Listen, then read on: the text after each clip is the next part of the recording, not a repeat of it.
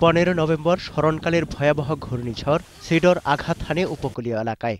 বাড়িঘর, গাছপালা উপড়ে লণ্ডভণ্ড করে দেয় বিস্তীর্ণ এলাকা। প্রাণহানি ঘটে বহু মানুষের। বাঁধ ভেঙে ভাসিয়ে নিয়ে যায় সবকিছু। এলাকাবাসীর দাবির প্রেক্ষিতে দু হাজার ষোলো সালের জানুয়ারিতে বাগেরহাটের শরণখোলা মোরেলগঞ্জে বাষট্টি কিলোমিটার টেকসই বেড়িবাঁধ নির্মাণ কাজ শুরু হয়।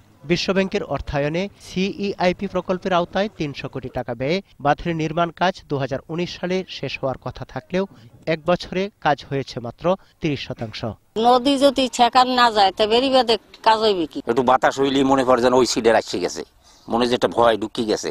ও ভয় তো আর যাইতে আছে না। আমাদের বেরিবাদের প্রায় থার্টি পার্সেন্ট কাজ অলরেডি কমপ্লিটেড ভয়াল সেই স্মৃতি বয়ে বেড়াচ্ছেন পটুয়াখালীর মির্জাগঞ্জের ক্ষতিগ্রস্ত মানুষ।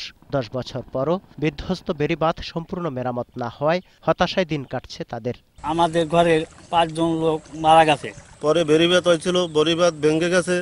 জোপাই অহনি আমাকে ভয় লাগে যে আবার সিডার মনে হয় ওই যাই বরগুনায়ও ক্ষতিগ্রস্ত বন্যা নিয়ন্ত্রণ বাঁধগুলোর কাজ চলছে ঢিমে তালে। আবহাওয়ার সতর্কতার সংকেতে অজানা আতঙ্ক বাসা বাঁধে উপকূলবাসীর মনে।